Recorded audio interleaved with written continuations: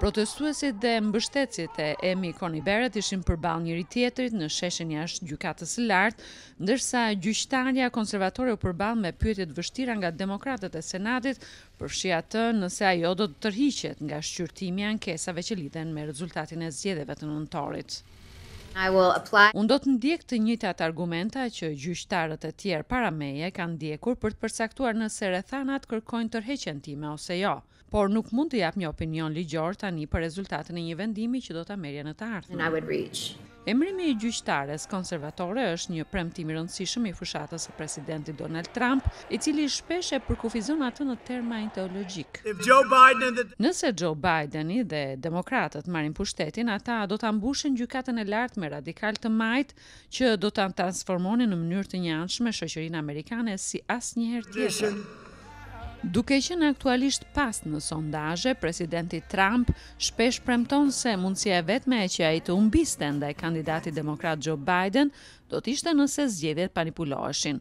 me dhjetëra çështje gjyqësore të paraqitura që tani për zgjedhjet, me rezultatet e ngushta që priten në shtetet e lëkundura, pas zgjedhjeve mund të ripërsëritet një skenar si gara e vitit 2000 mes kandidatëve George Bush dhe Al Gore, ku rezultati u vendos nga një votim në Gjykatën e Lartë. Deklaratat nga Presidenti Trump dhe disa republikanë që sugjerojnë se gjykatësja Barrett duhet të konfirmohet për të siguruar që gjykata do të vendosë në favor të tyre për çështje të mundshme ligjore paszgjedhore janë të papërshtatshme, thotë eksperti Adam White. Ata kanë krijuar një hije mbi të që zonja Barrett duhet ta largojë përmes punës së saj në gjykatë, për ta bërë shumë të qartë se kur të konfirmohet, Ajo nuk i përgjigjet presidentit Trump, nuk i përgjigjet askujt përveç ligjit.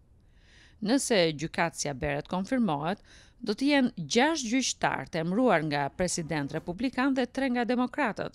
Nëse Joe Bideni fiton, disa demokratë duan që ai të shtojë numrin e anëtarëve të Gjykatës së Lartë, duke argumentuar se kjo do të ndihmonte në ekuilibrimin ideologjik të gjykatës. Republikanët e kundërshtojnë fuqishëm këtë ide. Numri i gjyqtarëve nuk është i përcaktuar në Kushtetutë, por që nga viti një mijë e tetëqind e gjashtëdhjetë e nëntë ka pasur gjithmonë nëntë. If you add more and more seats, Nëse shton gjithnjë e më shumë vende në Gjykatë, do të krijoheshin ndoshta koalicione të vogla që duhet të përfshihen në një lloj kompromisi. Nuk do të thosha se do të ketë shkëmbime favoresh, por Gjykata do të dukej gjithnjë më pak si një organ vendimesh parimore dhe gjithnjë më shumë si një grup kompromisesh legjislative.